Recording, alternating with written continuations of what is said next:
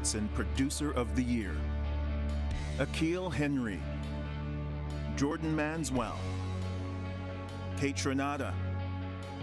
Murda Beatz. Wonder Girl.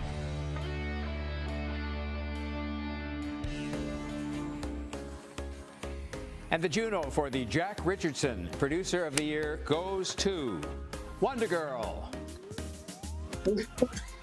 wow. Holy smokes. I was not expecting this at all. Thank you so much. Thank you.